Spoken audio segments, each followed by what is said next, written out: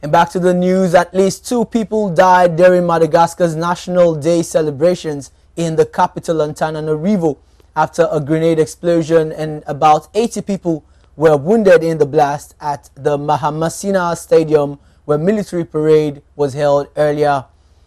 President Heri Rajaonari Mampianina put the blame on political divergences after calling the attack a terrorist attack. It was not immediately clear who or what was behind the explosion.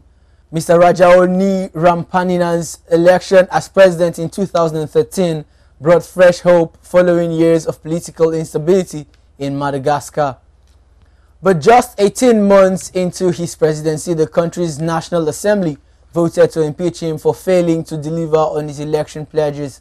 In 2014, a grenade explosion killed a toddler and injured several other people outside the same stadium. No arrests were made in connection with the attacks and there was no claim of responsibility.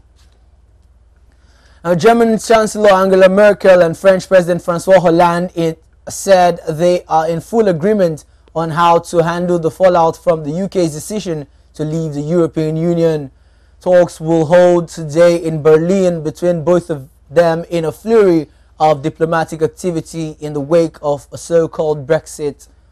Mr. Hollande said the UK was ready to face the future from a position of strength, although he accepted the economy would have to confront challenges and that further volatility on financial markets are likely to be faced.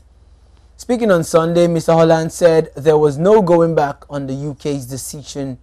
Chancellor Merkel is to host President Hollande, Italian Prime Minister Matteo Renzi, and European Council President Donald Tusk today.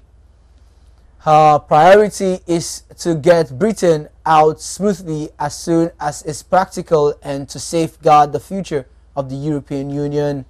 US President Barack Obama has already said that the special relationship between the US and the UK would endure despite Britain's decision.